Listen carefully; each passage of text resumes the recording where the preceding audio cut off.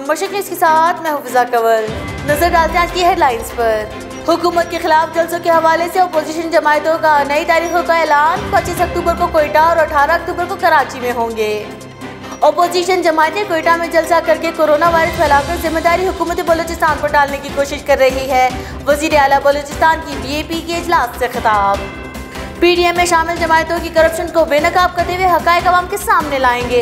वज़ीर तालीम बलोचिस्तान सरदार यार मोहम्मद रिंद। सूद का खात्मा और नफाज इस्लाम सुकून इतमान का रास्ता है। अमीर जमायत इस्लामी बलोचिस्तान मौलाना अब्दुल हक हाशमी का बयान। ज़रात और लाइफ स्टॉक के शोबों को जदीद खदूद पर सवार करना नागुजीर है।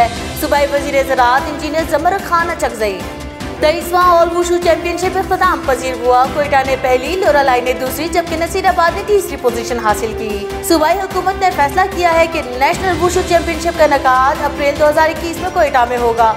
मशीर खेल उमूर नौजवान अब्दुल खालिक हजारा। बलोचिस्तान में स्पोर्ट्स की तरक्की के लिए टैलेंट और मेरिट को सामने लाना होगा। स्पोर्ट्स एक्सपर्ट शाहिदा डार माजी में खेल और खिलाड़ी को प्रमोट नहीं किया गया। मेरिट पर सिफारिश पसंद नापसंद को अहमियत दी गई। Principal physical college Zulekha Karim की मशिक न्यूज़ से खसूसी गुफ्तु हमारे स्पोर्ट्स रिपोर्टर सैयद शाहजेब शाह की इस रिपोर्ट में। Aslam madam. Principal government college of physical education Balochistan. ऐसा है कि government college of physical education Balochistan, Quetta, Balochistan का वायद एक ऐसा इदारा है जहाँ पर फ़िज़िकल एजुकेशन का हम सेटअप चला रहे हैं। Government college of physical education Balochistan Quetta में जो है क्लासेस 1977 से स्टार्ट हुई, जिसमें हमारे तमाम जितने भी प्राइमरी, मिडिल और हाई स्कूल थे, उनके जो फ़िज़िकल एजुकेशन के उस्ताद थे, उनको यहाँ पर डिप्लोमा करवाया जाता था, junior diploma in health and physical education. उसके बाद 1990 में, क्योंकि फ़िज़िकल एजुकेशन का ट्रेंड बहुत ज़्यादा हो गया था पाकिस्तान में 1990 में ऐसा हुआ कि यहाँ पर हमारे जो सीनियर फ़हीम साहब थे और डायरेक्टर कासिम बलोच साहब थे, उनके ताउन से उन्होंने यहाँ पर हमें ये प्रेमिस आपका जो एयूब स्टेडियम के अंदर नज़र आ रहा है government college of physical education का सेटअप क्योंकि फ़िज़िकल एजुकेशन का जो सेटअप है, वो एक स्टेडियम के बगैर, एक एकेडमी के बगैर पॉसिबल ही नहीं है। तो इस वजह से उस दौर में 1990 में यहाँ पर हमारी senior diploma in health and physical education की क्लासेस का बाकायदा आगाज़ किया गया। जूनियर के साथ साथ सीनियर की क्लासेस भी यहाँ पर स्टार्ट हो गई। 1990 से लेकर आज तक senior diploma in health and physical education इसके अलावा बैचलर इन फ़िज़िकल एजुकेशन की डिग्री और junior diploma in health and physical education की डिग्री हम पूरे बलूचिस्तान के चौंतीस डिस्ट्रिक्ट के तलबा और तालबात को प्रोवाइड कर रहे हैं। मैं यहाँ पर इस फोरम पे स्पेशली थैंकफुल हूँ। हमारे जो डीजी स्पोर्ट्स है, दुर्रा बलोच साहब और हमारे जो सेक्रेटरी स्पोर्ट्स है, इमरान गिचकी साहब स्पोर्ट्स डिपार्टमेंट की तरफ़ से उनका ताउन हमें हासिल है। एजुकेशन एक बहुत वसी सब्जेक्ट है। अगर देखा जाए तो फिज़िक्स की इतनी आज डिमांड नहीं है इसकी केमिस्ट्री की नहीं है जोलॉजी की नहीं है फ़िज़िकल एजुकेशन का इतना स्कोप है कि आप सोच भी नहीं सकते। हमारे यहाँ पे जब से मैं एज ए प्रिंसिपल मैंने चार्ज संभाला है 2015 में, माशाल्लाह हमने 1100 स्टूडेंट्स को bachelor in physical education junior diploma in health and physical education की डिग्री हमने प्रोवाइड की है। बलूचिस्तान से स्पेशली मैं क्रिकेट में हमारे इंटरनेशनल प्लेयर है, इस टाइम नाइदा खान है, हमारी हॉकी में हमारी इंटरनेशनल बच्चियाँ हैं। इसके अलावा हमारे दूसरे बहुत से ऐसे स्पोर्ट्स हैं, जिनमें बलूचिस्तान की जो बच्चियाँ हैं, कराटे में स्पेशली मैं कहूँगी फेंसिंग में, उन्होंने ना सिर्फ़ नेशनल लेवल पे, बल्कि इंटरनेशनल लेवल पर भी। मैं स्पेशली गवर्नमेंट ऑफ़ बलूचिस्तान से यहाँ पर इस फोरम पर आज बैठी हूँ, इस मीडिया के थ्रू ये बात मैं government of Balochistan sports department को ये मैसेज देना चाहती हूँ कि यहाँ पर हमारे बलूचिस्तान में स्पोर्ट्स के हवाले से पॉलिसीज़ का फुकदान है। स्पेशली मैं फ़ीमेल के हवाले से बात करूँगी कि फ़ीमेल के लिए कोई वाज पॉलिसी नहीं बनाई गई है। फ़ीमेल को स्पेशली इग्नोर किया गया है। बलूचिस्तान एक ऐसा सूबा है जिसमें स्पेशली फ़ीमेल के हवाले से कि उनको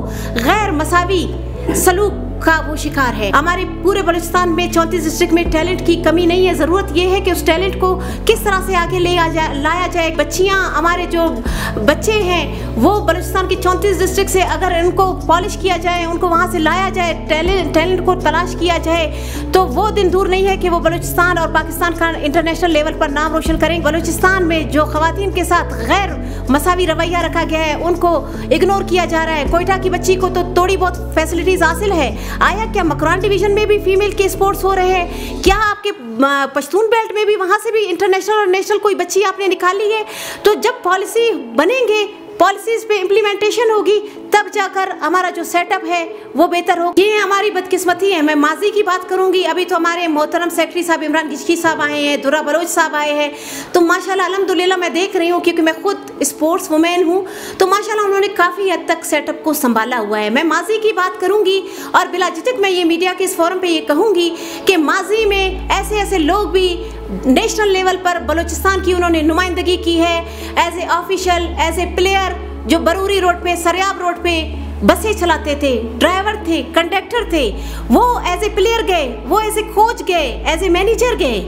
और ये मेरे ख्याल से स्पोर्ट्स के हमारे सेटअप में जितने लोग हैं, उन सबको पता है। जितने भी एसोसिएशन है यहाँ पर पूरे बलूचिस्तान में, मैं ये बात कहूँगी कि तमाम जितने भी एसोसिएशन बने हुए वो तमाम बहुत कम ऐसे एसोसिएशन होंगे जो रियल में काम कर रहे हैं, उनका एक सेटअप है।